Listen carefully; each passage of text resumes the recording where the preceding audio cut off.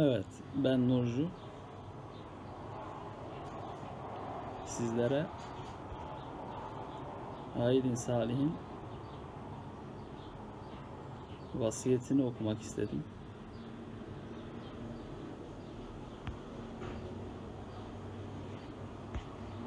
Hemen başlayalım. Aydın Salih Oruçluyken ölmek kimlere nasip olur? Bu bir nimet. Doktor oruç tutma dedi. Senelerdir yiyorum diyorsun. Oruç sana nasibi olmamış, haberin yok, gafil. Ah bir tutsan, bir tutabilsen, nasıl da hakikatlerin farkına varırsın. Oruç insanı öldürmez, korkma. Oruçken ölen de ne mutlu ona. Siz yalancısınız. Dilinizle söyleyip kalple yalanlıyorsunuz. Cenneti istiyorsunuz, gayret etmiyorsunuz. Ben bunun haram olduğunu biliyorum diyorsunuz. Vazgeçmiyorsunuz. Birçoğunuzun tuttuğu oruç kabul olmuş mudur şüphedeyim. Zira Allah'ın razı olduğu oruçlardan uzaksınız. Oruçlarını yiyenler de ayrı. Ancak Allah çok merhametli. Bütün azalarınız ile oruç tutun sadece yemek yemeyerek değil. Biliyorum hepiniz can kulağı ile dinliyorsunuz. Ancak gafletiniz o kadar büyük ki içinizden bir iki kişi dikkat edecek, sakınacak. Diğerleri aynen devam. Ama ben bir kişi için bile olsa hep anlatacağım. Türkiye'nin hemen hemen bütün illerini gezdim. Gerçek tıp kitabındaki bilgileri ve daha fazlasını hep anlattım. Yaz demeden, kış demeden. Allah'ın huzuruna vazifemi yapmış olarak rahat çıkacağım. Sizler duyduk ama işimize gelmedi mi diyeceksiniz. Unutmayın, her şeyimiz 24 saat boyunca en iyi kameralarla çekim yapılıyor, kayıt ediliyor. Montaj veya silmek yok. Her şey kayıtlı. Bana orucu ve açlığı soruyorlar. Hocam doktor yasakladı. Ben oruç tutamıyorum. Oruç tutunca başım ağrıyor. Midem bulanıyor, halsiz oluyor. Ben de diyorum ki sen oruç tutan biri olsaydın ya da orucun ehemmiyetini anlasaydın geçmişten bu yana zaten bu halde olmazdın. Gençler haftada en az bir gün ömür boyu oruç tutmalıdırlar. Her zaman. Vücutta ne kadar çok toksin, toksit, ağır metal vesaire varsa o kadar açlık kişiye zor gelir. Hücreleri temiz olan yediği için hasta olur. Vücut tepki verir. Baş ağrısı, migren, tansiyon bunlar hastalık değildir. Sadece vücudun bir savunmasıdır. Ağrısı çok olan biri ağrı kesici alıyor, sonra tekrar hazır gıda. Kozmetik. Hep aynı hata. Bak sana ne dokunuyor? Bırak onu. Sana ne zarar veriyor? Çıkar hayatından. Bu kadar kolay. Bana sen şuna buna ne için sataştın diyorlar. Farkında değilim diyen üstadımın ifadeleri ve sözleri hatırıma geldi.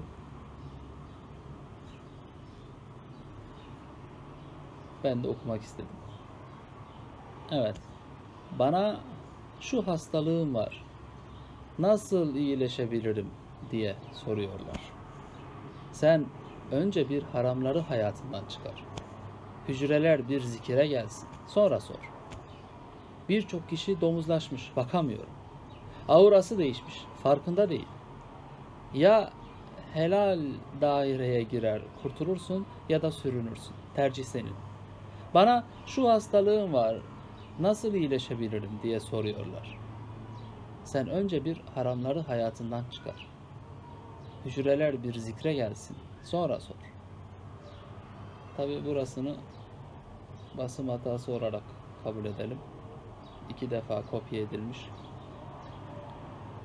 Sırlara vakıf olmak isteyen boğazını korusun. Efendimiz'e layık olmak isteyen sünnetlerine riayet etsin. Az ye, oturarak su iç, oruç tut, az uyu, karışık beslenme, sünnete aykırı yaşama, tebessüm et, helal daireden çıkma. Ramazan sofralarınıza bir bakın. Kimin adeti ile süslü? Hangi peygamber, Resul, Nebi, sahabiler, mübarekler sofranıza oturur? Birçok yemek çeşidi, asitli içecekler, su, ayran vesaire vesaire. Allah iyice tıka basa yiyin diye mi Ramazan'ı verdi? Ne için? Davetler daha da kötü. Akşama kadar hazırlık. O kadar yemekten sonra nasıl ibadet edeceksin? Uyku çöker gafletle. Tam da şeytanın istediği gibi. Su ve hurma ile oruç denedin mi? Hem de birçok gün. Efendimiz'e yar olmak için karnına taş bağlamak gerekmez mi? Yemek istemeyen çocuğu tabağını bitirmeye zorlamak midesinin genişlemesine ve zamanla yemek hırsı kazanmasına sebep olur. Bu hem her tür hastalığı hem de beğenilmeyen huy ve davranışları davet etmektedir. Gerçekten acıktığı zaman verilen yemek çocuğa merhamet, anneye sevaptır.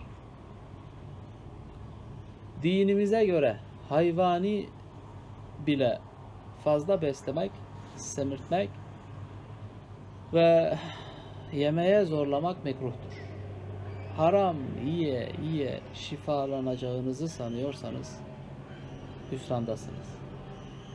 İyileşmek farklı, şifalanmak farklı.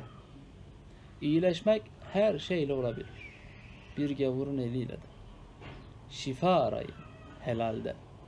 Şifa Allah'tandır ve haramla gelmez. Birçok yiyecekte, içecekte, kozmetikte vesaire alkol var. Domuz mamulleri var. Kullandığınız ışıltılı tabaklarda bile şifa gelir mi sanıyorsunuz? Önce tövbe et, sonra bedenini arındır, sonra şifa iste. 30 yıldır ilaç kullanıyorum, iyileşmedim. 20 yıldır ilaç kullandım, iyileşmedim diyorlar. Bırak, içme. Nasıl olur? Bırakırsam ölürüm. Kullanmazsam yaşayamam. Sanki hiç ölmeyecek. Ya da ölüm sebebe bağlıymış gibi. Hani inanç? Ölüm size gelince ne bir dakika öne gelir ne geriye. Ayetinin mealine iman nerede? Emir gelirse kurtuluş var mı? Aydin Salih'e soruyorlar. Hocam siz sentetik giymiyorsunuz. Ne giyiniyorsunuz? Keten ve pamuk. Çok pahalı. Biz alamayız ki. Hem de kalabalık bir aileyiz. Hayır. Siz çok alıyorsunuz. Gardıroplar dolu. Sığmıyor. Sünnette ne var? Bu kadarı israf. Benim hiç altıncı kıyafetim olmadı. Yeni alınca bir öncekini infak ederim. Elimde sabunla yıkamayı tercih ederim. Peki yemekler? Hangi kabı kullanıyorsunuz? Bakır, toprak, cam. Bunları kullanın. Çok tabak sofraya koymayın. Salatanız, pilavınız bir tabakta olsun. Parmak uçlarında enerji vardır. Bu üç parmağınızda. Baş parmak, işaret parmağı ve orta parmak. Yemeğin enerjisini dağıtmayın. Şifası daha çok olur. Lezzeti de. Elbiselerinizin birine yama yaptınız mı?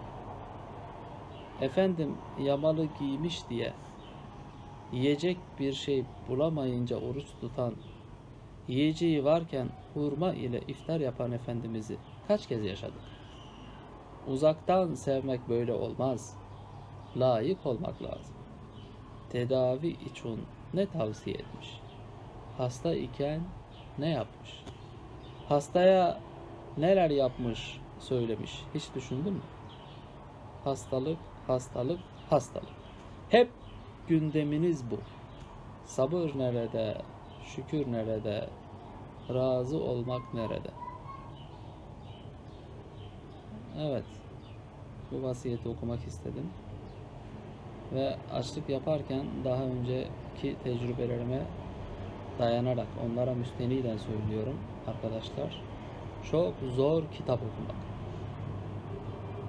Geçen seneki açlığımı devam ettirirken aynı zamanda sorulan suallere cevap veriyor ve istenilen kitaplar olursa okuyordum. Fakat benim için çok müşkilat teşkil ediyor. Çok zorlanıyordum. Ve bu seferki açlık tedavimde ve şifa orucumda ayrıca oruçlarımı da tuttuğum için daha fazla zorlanıyorum. Zaten rahat okuyamıyorum fark etmişsinizdir. Her neyse daha fazla güç ve kuvvetten düşmemek için hızlı ve yüksek ses ile okumuyorum biliyorsunuz. Şimdilik bu kadarı yeter. Evet.